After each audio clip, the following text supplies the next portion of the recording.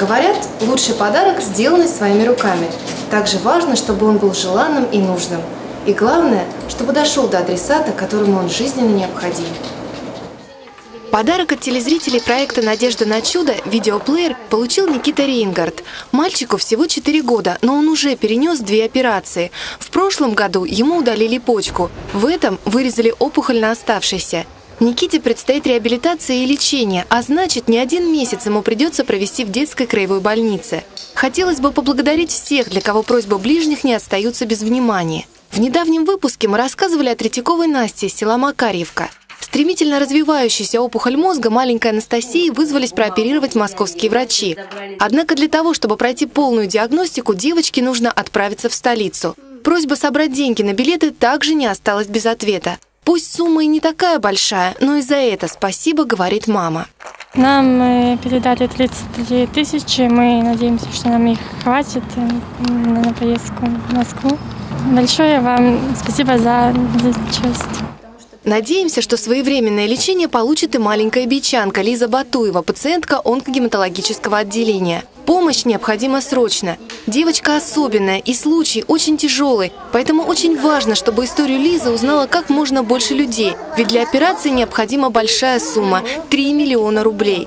У трехлетней Лизы рак мозга обнаружился недавно. Никаких отклонений, задержек в развитии не наблюдалось. Напротив, девочка отлично для своего возраста рисует и отличается спокойным, ласковым характером.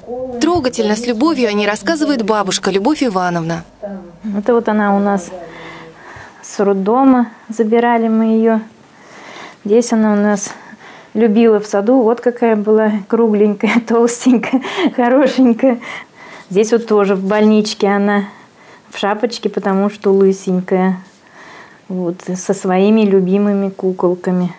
Жизнерадостная и улыбчивая Лиза заболела простудой. Медики поставили диагноз – пневмония. Лечение продолжалось, но не помогало. После компьютерной томографии выяснилось, у Лизы опухоль головного мозга. Девочку в срочном порядке прооперировали, но опухоли удалили только частично.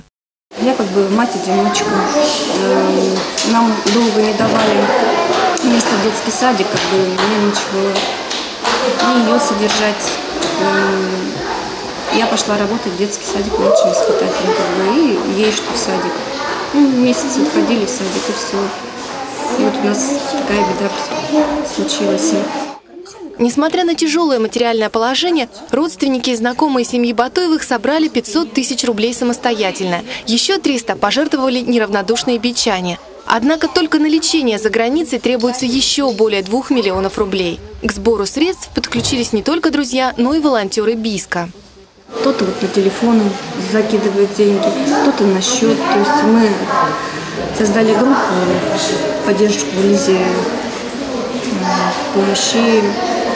Уже как бы расклеили листовки по городу. Ждать и медлить нельзя ни минуты, иначе мы можем потерять нашу крошку маленькую.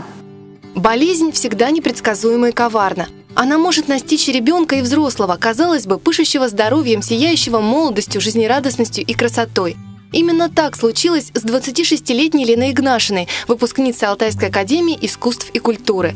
Артистка шоу-балета «Тропикана», талантливая танцовщица и просто лучистый человек, который любит свою работу, а главное – жизнь. Мамочка, папочка, я вас очень сильно люблю.